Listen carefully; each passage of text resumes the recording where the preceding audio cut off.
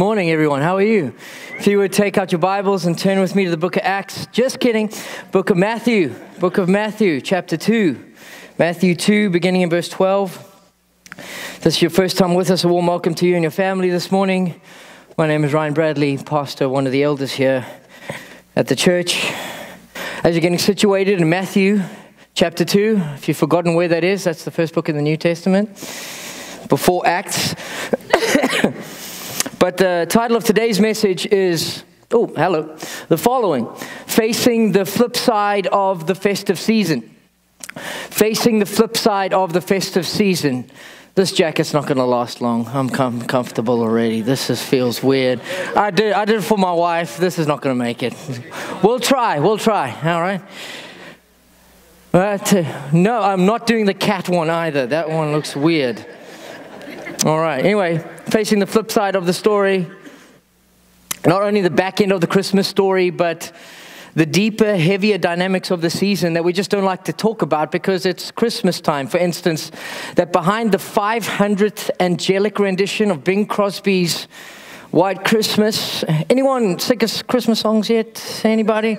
All right, I'm over it. Um, but behind it stands a multitude of people who are hurting, who are walking through some of the most tragic, difficult circumstances they've ever had to deal with. This is facing the flip side of the festive season.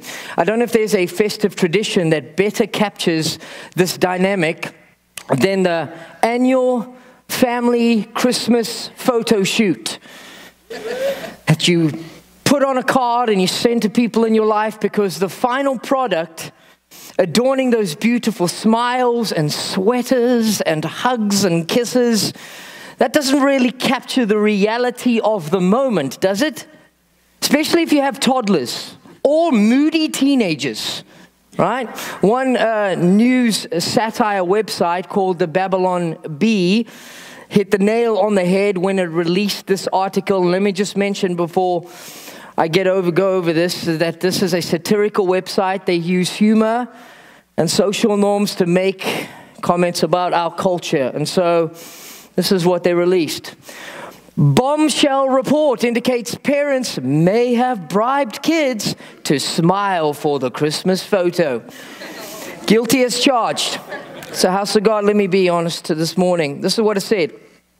New bombshell report indicated that local parents, Ryan and Lindsay Bradley, just kidding, Jeff and Cynthia Payton, may have bribed their children, Jenna and Aiden, to smile for this year's Christmas photo. An audio recording of the photo shoot earlier this year was leaked to the press, seems to confirm the parents resorted to blatant bribery to elicit the desired expression from the kids. Jeff was heard saying, Look, just smile for the picture and you'll get whatever you want. You want the new mind build or Fort Dig game or whatever. I don't know, what is that? Fort Dig? Anyone know what Fort Dig is? You want candy piles of it? You've got it. Just smile for three meager seconds and you'll have the world. I may have said all those things before. Parents also reported resorting to straight up threats, suggesting they would withhold dinner or even worse, withhold screen time until their demands were met. We're dealing with, dealing with a definite quid quo quo here, said one investigator. Parents clearly dangled the offer of a trip to Chuck E. Cheese over their kid's head just to get a two second long smile for this year's Christmas card, end quote. Sad reality that's not too off base of the Bradley family experience. Here's our beautiful Christmas card. Everyone's hunky dory. Notice that every other person on the beach has been photoshopped out. there is no one standing there on Myrtle Beach, but this is the reality of it. That's so cute. Merry Christmas and a Happy New Year, right there. this is me saying, "Look, we've got M and M's." Can have all of them. It'll be great. Just please smile for one second. And that's what we send to you guys. So anyway, this dynamic doesn't stop with the Christmas family pictures though, because so many other Christmas commercial products like cards and nativity scenes paint an inaccurate picture of the Christmas narrative. You know, historically speaking, the wise men were never at the manger at the same time as the shepherds. And there weren't only three of them, There could have been up to 20, 30, 40 of their entourage there. And at this stage, Jesus wasn't a baby anymore. He was probably 18 to 24 months old. Can you imagine bowing and worshiping a toddler? If you had a toddler, you know that would be so weird. And short after the wise man left town, Joseph, Mary, and toddler Jesus had to grab their belongings, flee by night to a foreign country to protect their little son from being killed by a paranoid king who then slaughtered all the little boys in Bethlehem under the age of two. I don't believe that ever will be captured on a mural in a Sunday school room. It'll be terrible. All of that to say, the flip side of the story isn't as festive as we'd like to imagine. But it sure sounds very familiar to the world that we live in, right? That God didn't bring his son into the safe, peaceful environment, but into a sinful, broken, rebellious world that we still live in today. But despite all of this, isn't it good to know that our God still remains in control? Despite all of this, he's still working together all of these details for the glory of his name and the good of his people. And so let's pick up the story here today with toddler Jesus right after the wise man's visit and ask God to show us something life changing through the facing the flip side of the festive season. Would we pray together? Let's go to God. You can pray again that my voice makes it. Friday night, it was almost gone. But would you just pray and lift up my voice this morning as well.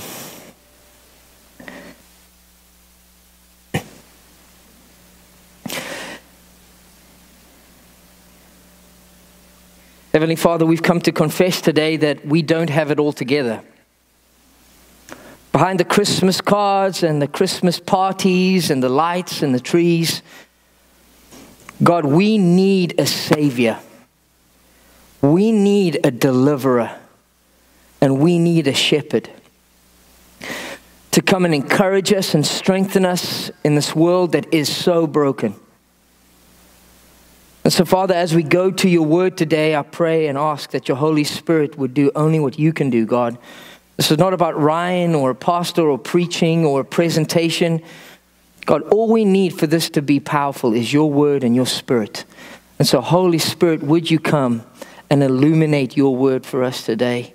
So that we can marvel at the goodness and the greatness of Jesus and what he has done for us. Jesus, we want more of you today. We want more of you on Christmas. We want more of you next week and the week after next, God. Show us that on the flip side of this season stands a God who is able and a God who is strong and a God who is sufficient to meet all of our needs. God, I do pray for my health right now. God, would you, being the great physician, just touch my voice and Help me, God, just to make it through this sermon so that we can marvel at your word. I trust you. I believe you, God. You are the great physician, and you can speak a word from heaven and help me right now, God. We trust you. It's in your name I pray. And everybody say amen. Amen. All right, I'm going to suck on this cough drop, and I've got about 16 other ones in my pocket, so it's going to be great. Anyway, observation number one if you're writing down this morning, oh, Penny, Pen, Pen, what's up, girl? Um, Observation number one escaping to Egypt. Escaping to Egypt. And so, after the wise men and their entourage followed the star to Bethlehem, found Mary and baby Jesus, bowed and worshiped them, and presented the gifts to him, they were in verse 12. Let's read the Bible together. Warned in a dream not to go back to Herod. So they returned to their own country by another route. Verse 13 reads the following After they, the wise men, were gone, an angel of the Lord appeared to Joseph in a dream, saying, Get up, take the child and his mother, and flee to Egypt, and stay there until I tell you, for Herod is about to search for the child and kill him. That's not the best news to receive as a first time parent. Oh, what a beautiful baby boy. Run for your lives because the most powerful man in the nation wants to slaughter your baby. That's not the best. But a couple of comments here from these verses this morning. First one is this Don't miss that God instructs and gives his instructions through a dream. Through a dream. A common feature in these infant narratives, the majority of which happened to Joseph. And what's fascinating, in three of these dreams, an angel is involved in them, like on many occasions in the Old Testament, where angels are used as messengers of the Lord. That's the meaning of their name. The word angelos means literally messenger. And so, even though angels are these divine beings, they are purely functioning as a vessel of information for God. Angels weren't guiding, angels weren't directing Joseph. It was God directing his children through this world by the service of an angel. Okay? Can we say amen today? Second one is this they were told to flee to Egypt. And that wasn't very uncommon in this day and age. Countless Jews sought refuge in Egypt when opposition and persecution and oppression made their lives intolerable. In fact, if you went to Egypt during this time, almost every city in Egypt had a community of Jews. It's like a South African who immigrates to Charlotte, and suddenly you find when you go to the stores, you go to church services, you go to the community and schools, there's South Africans everywhere. Oh, we're like, this is South Africa, away from South Africa. Would have been the same experience for Mary and Joseph. No matter where they went, they would have found a community of Jews in Egypt. In fact, the city of Alexandria, just get this in mind, the city of Alexandria in Egypt had over 1 million Jews in it alone. And so they would have found some fellow countrymen to associate with and eat their food and enjoy their time together. What's interesting, though, is that over the centuries, enemies of Christ have used his time in Egypt to propose that it was during his stay there that he was taught the mystic arts or magic or sorcery, which he ended up supposedly using to deceive people and do these miracles in his ministry, which we know to be completely untrue because how old was Jesus? He was like two or three years old. How's a toddler going to learn these elaborate things in a foreign country where he didn't speak the language? That's completely insane. Needless to say, one of Matthew's goals here in this text was to paint Jesus as the true and better Moses.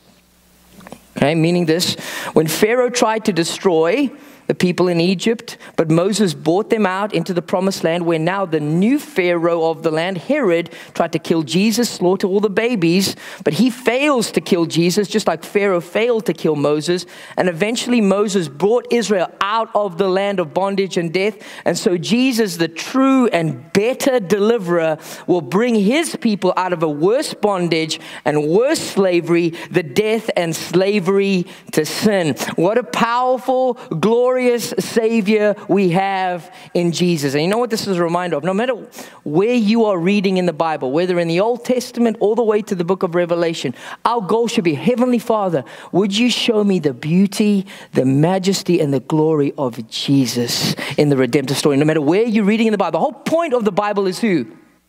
Jesus from Genesis all the way to Revelation. So, after hearing this message from the angel in a dream, Verse 14 says the following And so Joseph got up. I was inspired by that right there.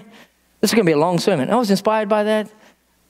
I want that kind of obedience in my life. When the Holy Spirit speaks, when the Word of God directs, I don't think twice. I just obey because in obedience we glorify God and we show our faith. So Joseph got up and he took the child and his mother during the night and escaped to Egypt. He stayed there until Herod's death. And so, what was spoken by the Lord through the prophet, that's the prophet Hosea, you can read about in Hosea chapter 11, might be fulfilled out of Egypt I called my son, which is Matthew just simply pointing to an analogy between Jesus and Israel. That just as Israel emerged from Egypt and established the nation of Israel, so Jesus came out of Egypt to deliver his people and establish his kingdom now and forevermore. This would have been of great encouragement to Matthew's audience who were primarily Jews. All right, let's take a breath right there. That's the word of God, first section. Don't know what the Holy Spirit was speaking to you in that text, but here's just two things that I feel are important for us to consider in our walk with God. And these are two seasonal nuggets that I'm going to call the facts of the flip side. facts of the flip side, number one, don't know if you noticed there, that even though life may seem chaotic, God is still in control. Let me say it today.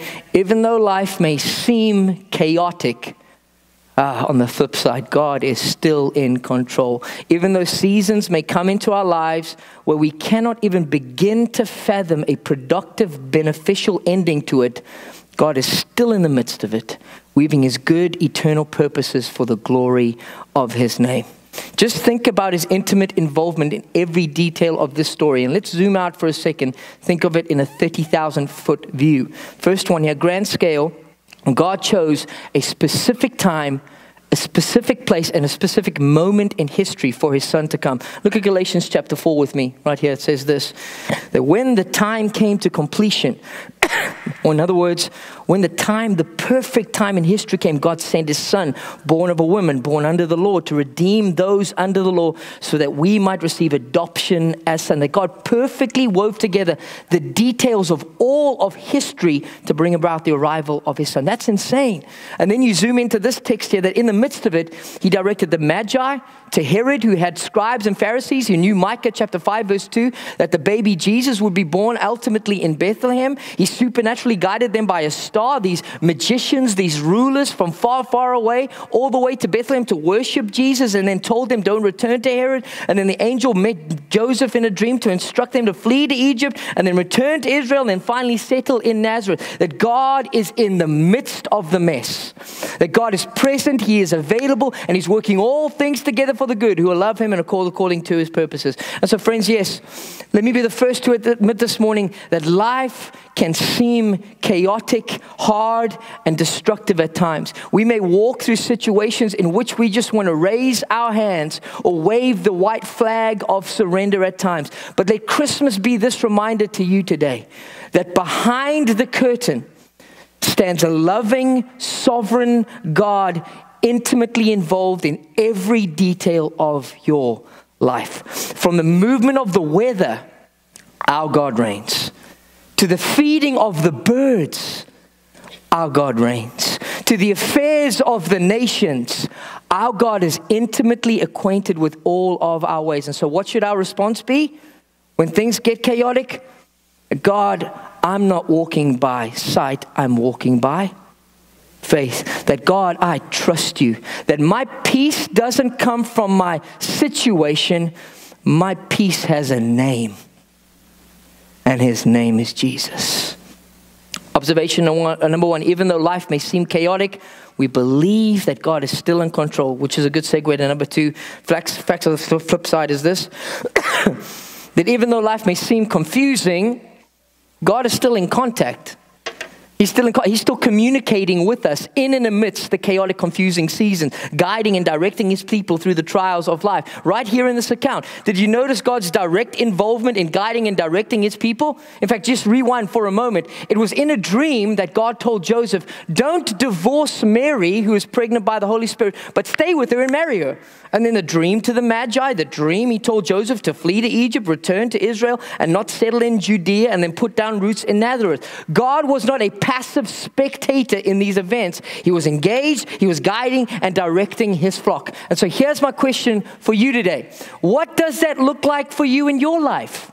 and in my life? How do you and I recognize the voice of God as we make our way through this broken world? And let me be real with you just for a moment before I provide some comments here. Is that this question has been wrestled with for centuries, even by some of the most celebrated Bible characters in history. Think about this guy. How about Samuel? When Samuel was younger, God spoke to him audibly three times in one night, and he didn't recognize the voice of God until grumpy, sleepy Eli was like, Dude, stop interrupting me. I'm sleeping. I like my sleep. Go back and talk to God. That's what happened there. And then you, how about Gideon? Gideon had a physical revelation from God, still doubted it was him, and needed signs to prove it was God. Not one sign, not two signs, but three signs. And so, as we navigate our way through this world, how do we know who's speaking to us? Who's talking to us? Who's prompting and moving us as we make these decisions and seek clarity in this confusing world? Well, you think we're going to figure it out right now? I've got three comments. First one is, uh, first one is this. Firstly, talking about recognizing the voice of God in our lives right now. First one, this is a glorious one to note that we, in this moment of redemption history, have something that all these characters in the Bible never had. We have the privilege of having the inerrant, inspired Word of God at our fingertips to read, meditate, and reflect on. Think about the power of 2 Timothy chapter 3 where it says this. All of scripture is inspired by God. The word there actually means breathed out from the lungs of God. That's insane. All of Scripture is breathed out from the lungs of God, is profitable for teaching, rebuking, correcting, and training in righteousness, so that the man of God, so that the people of God may be what? Semi complete, maybe complete, fully equipped for every good work. You know what that means? That means whatever obstacle we face or decision we're confronted with, our first call of duty is what? Reflect, meditate on what God's word has to say about this topic and this decision. Now, let me just provide a caveat here. It may not, probably not give you the logistics of your decision. Should I marry this person? Is Lindsay's name in the Bible? Or how about this one? God, should I pick the Honda or the Hyundai? Let me go to the, it's not going to be there. Or what school should I attend? Should I pick this wedding venue or that wedding? It's not going to be there. But God's word can provide guidance on how we can glorify Him in these decisions. One thing is for sure here that God will never contradict what He's already revealed in His word. Can I say that again? God will never contradict what He's already revealed in His Word. Titus chapter 1. We discern what God is saying through His Bible. Second one is this. This one's so important that God's voice is only recognized by his sheep. Say that again. God's voice is only recognized by his sheep, meaning that if you haven't surrendered your life to Christ, been saved by grace through faith in Christ alone, you're walking through this world relying on the wisdom and the guidance and the prompting of yourself. Let's be real this morning in church. That's terrifying. You and I are not divine enough, wise enough, sovereign enough to lovingly lead you and your family through this chaotic world. Hear me today. We need a Savior. We need a deliverer. We need a shepherd for our souls. That's what Jesus said in John chapter 10, verse 27. My sheep know my voice, and I know them and they follow me. So listen, to experience the benefit of an intimate relationship with God, you must be saved. And here's the gift of Christmas that that offer is available to you today. You don't need to make yourself better. You don't need to right your wrongs. You don't need to start a six step self improvement program. You just come just as you are, for the grace of God can handle your mess. Can I say that again? The grace of God can handle your mistakes, your mess ups, everything you've done wrong. The cross is sufficient for you today. That's good news. And then finally, if you are one of his sheep, then what is your charge? I'm a sheep. I need the voice. What I've got to be submerged in the Word of God. I've got to be in there. Because the more time you spend in the Word, the easier it'll be to do what? To recognize His voice. Because I know what His voice sounds like. I know what He would be saying. An interesting illustration that I read this past week. Employees at banks trained to recognize counterfeits when they come into the bank. And how do you think they are trained to recognize counterfeits? They study the genuine article. They don't study the fakes, they study the genuine article. So then when a fake does come, they know, I know this is fake because I know what the real authentic article looks like. Right? It's meaning that we should be so familiar with God's word that when someone speaks error to us, nah, even better, when our flesh and our minds and our hearts say something, like, maybe I should do this. And then we should get an inkling from our spirit. Ah, that's not the word of God. And so immediately we reject it and move it away. And so, yes, folks, let me hear, say this thing. God can speak audibly. Amen. he can speak in dreams and visions. He can lead us by His Holy Spirit through our consciences, circumstances, and through the encouragement of other people. But hear me, in this season of redemptive history, God speaks primarily through His word. And by comparing what we hear and experience by the truth of Scripture, we then can learn to recognize God's voice in our lives. That's big. I, I can't, I, let me, let's just move on. This is escaping to Egypt. That's a whole dialogue over there. All right, next point is this. I want you to notice in the text the slaughtering of the innocents. This is this is funny to me because I was going to call this sermon the Christmas slaughter or the Christmas slaughter. I ran it by Lindsay and she just did this. Don't do that. So praise be to God that Lindsay and I are in ministry together. She's much wiser than me. Imagine I stood up and said, Turn your Bibles for the Christmas slaughter. It's going to be awesome. Anyway, so after the wise men don't report back to Herod, and Joseph packs up his family and heads to Egypt, King Herod catches wind of this in verse 16. and has been out, uh, that he had been outwitted by the wise men, and so he flew into a rage. He gave orders to massacre all the boys in and around Bethlehem who were two years old and under, in keeping with the time that he had learned from the wise men. An absolutely horrific action, right? And before you get too outraged, oh, how could Herod do this? I just want you to know this isn't out of character for a man who could be aptly described as an absolute monster.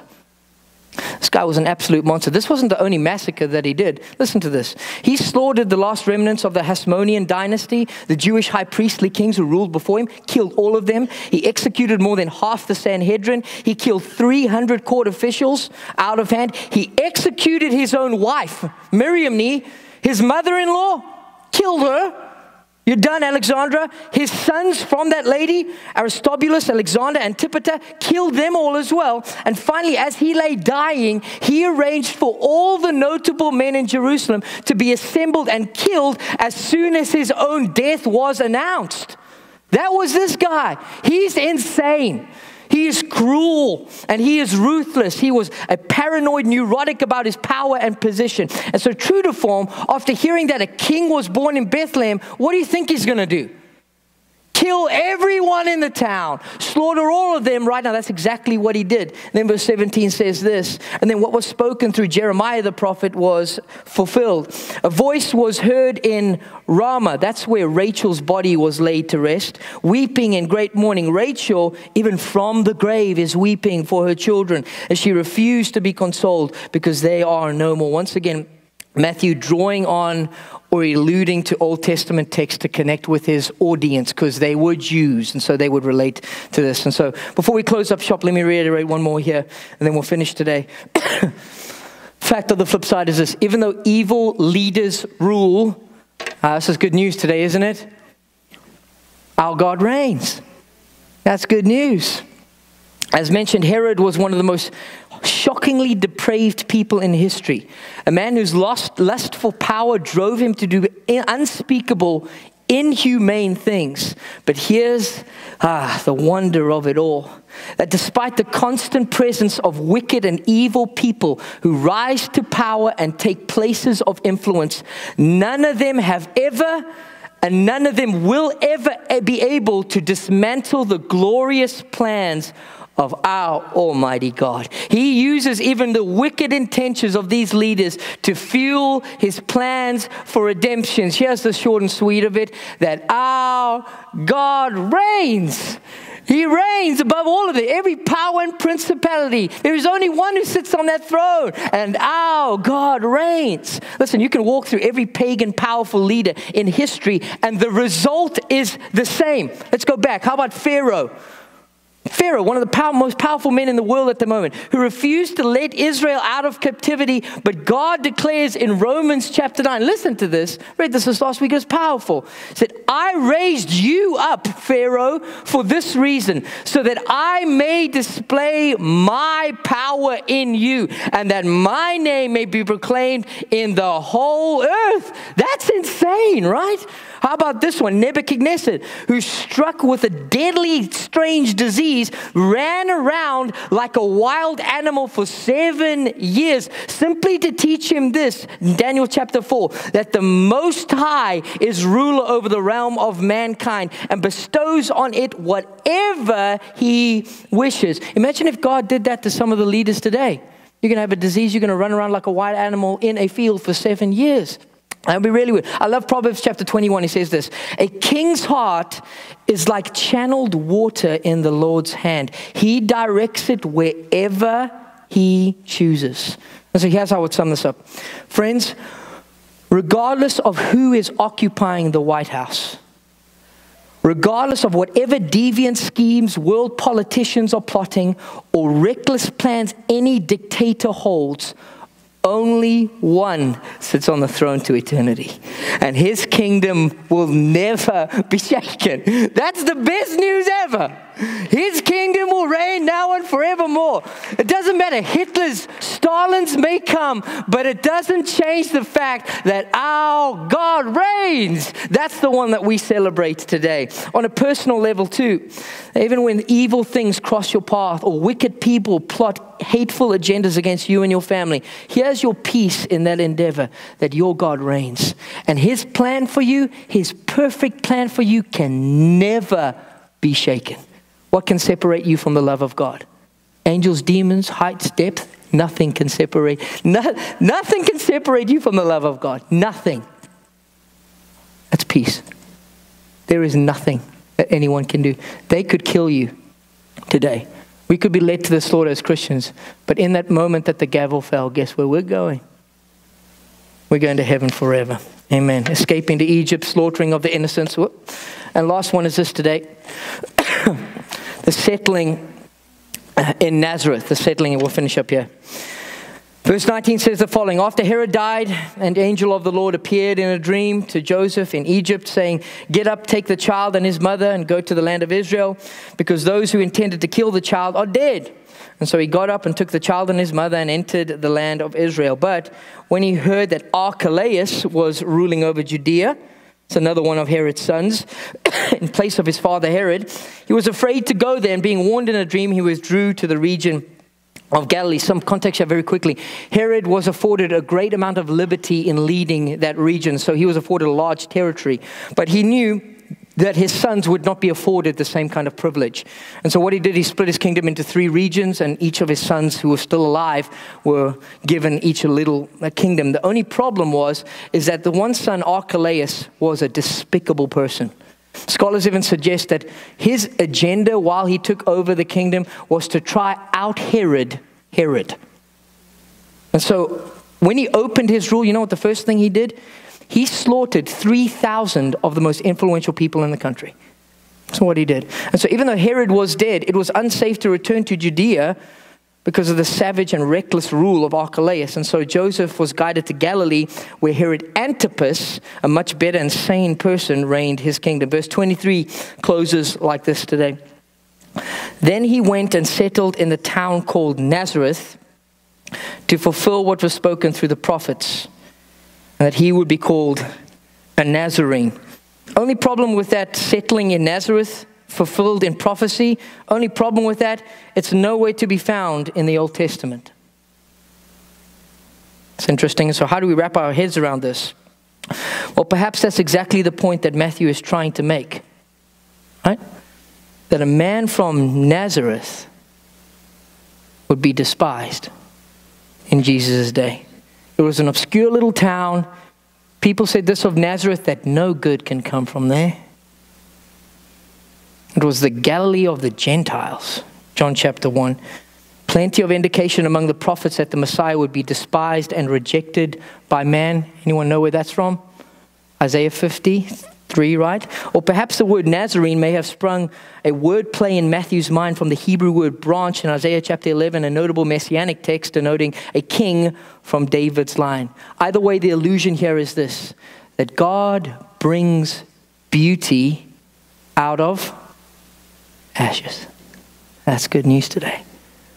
That God brings beauty out of ashes, just like the God of the universe would be reared and would grow from the most obscure town in history. That our God brings beauty out of ashes. That's hope today. Here's the last thing. Fact from the flip side is this that even though you came in here a sinner, ah, you can leave here a saint today. Even though you walked into this room enslaved, you can leave here free today. Even though you came in here weak today, you can leave here strengthened. Even though you came here hopeless, you can leave with divine hope. Listen, you may have been dragged to church by a friend. You don't want anything to do with the sermon or these songs. Your life could be anything further than to be labeled holy and righteous. But hear me today God's grace is sufficient for you. If the cross had the power to save a wretched man like me, I believe with all of my heart that it has the power to wash all of your sins whiter than snow right now. The cross has the power to adopt you into his family, to trade your sorrow for eternity of joy, to put a robe of righteousness on you where once stood only sin, shame, and guilt. And hear this today. How deep was Jesus willing to go to meet your need? How deep in this text? How about this? The God of the universe was willing to be born into a peasant family. The God of the universe was willing to live as a nomad in a country on a planet that he created. The God of the universe fled from the threat of a shameful king that he knit together in his mother's womb, and also to be reared in a city known for how pathetic and useless it was. Here's Christmas. That God so loved me. God so loved you that he gave his one and only Son. That whomever believes in him will not perish, but have everlasting life. The Son of Man did not come to condemn the world, but to save it through Jesus. It's Christmas. That's hope now and forevermore. Fact of the flip side, even though you came in a sinner today, you can leave here a saint because of Jesus.